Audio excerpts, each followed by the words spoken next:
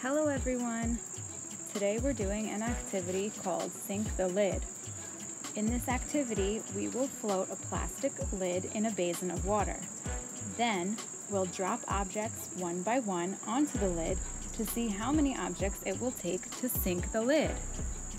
In this photo, you'll see everything that you'll need to try it yourself.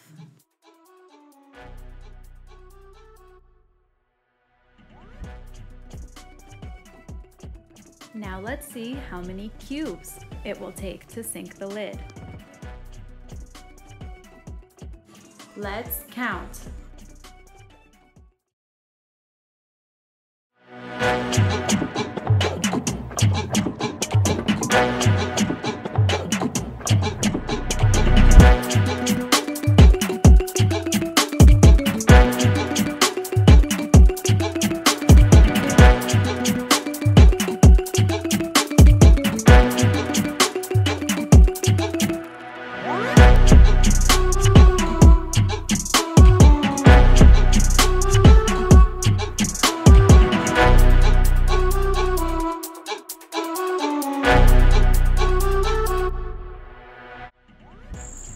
How many pennies will it take to sink the lid?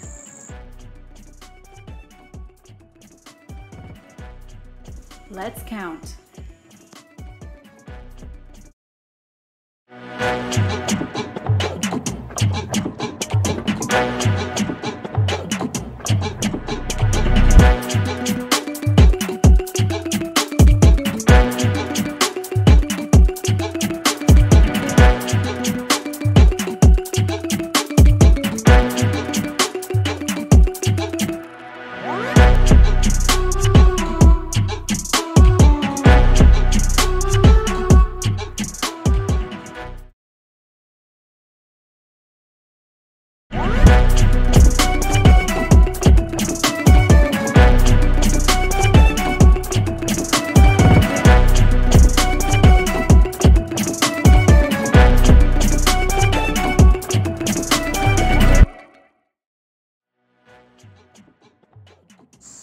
Here are some questions to discuss when you play Sink the Lid.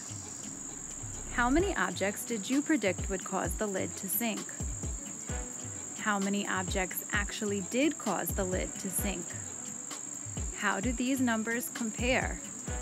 Use words like more, less, the same, greater than, less than, equal to.